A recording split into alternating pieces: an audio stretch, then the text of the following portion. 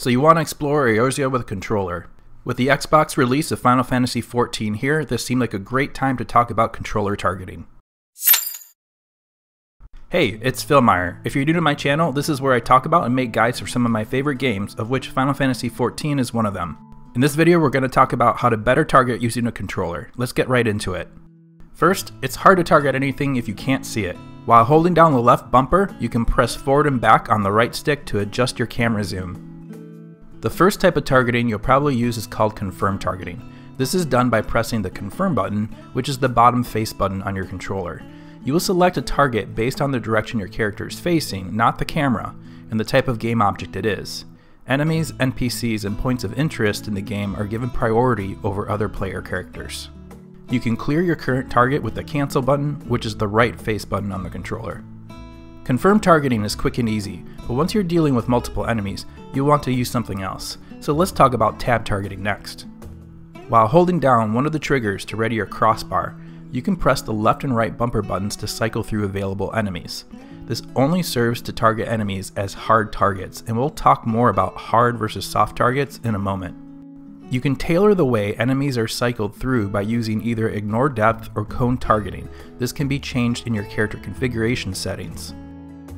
Ignore depth means that you'll cycle through enemies left to right or right to left on the screen depending on which of the buttons you're using. It doesn't matter how far away the enemy is from your character. With cone targeting, pretend there's an imaginary cone projected in front of your character in the direction your camera is facing.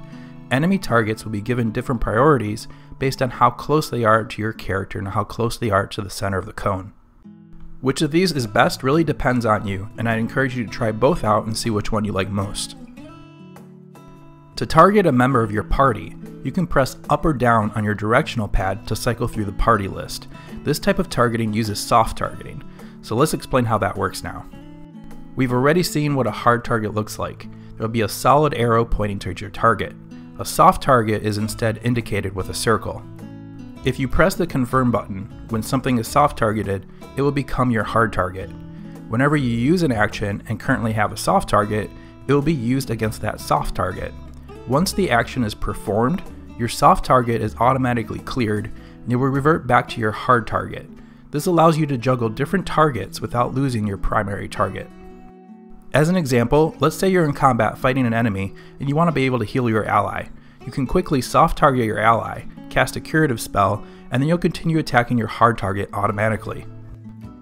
Just like when you only have a hard target, Pressing the cancel button when you have a soft target will clear it and revert back to your hard target.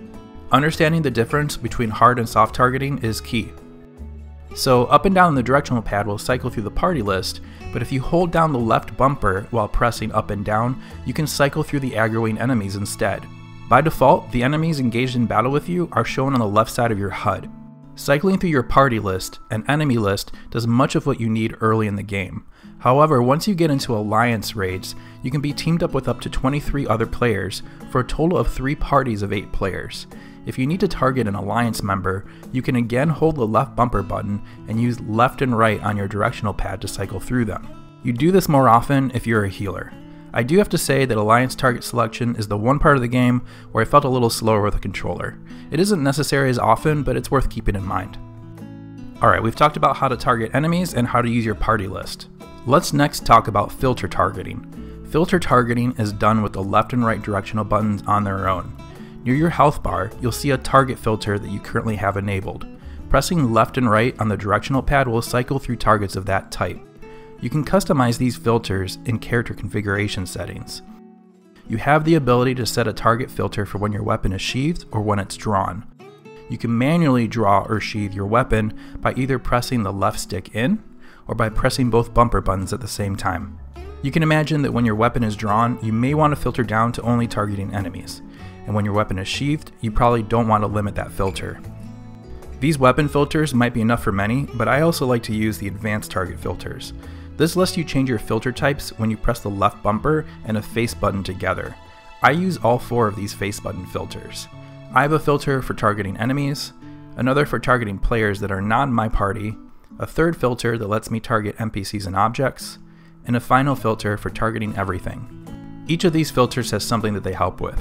For example, here in town I can use the NPCs and objects filter to quickly target the aetheryte crystal from within a crowd of other players.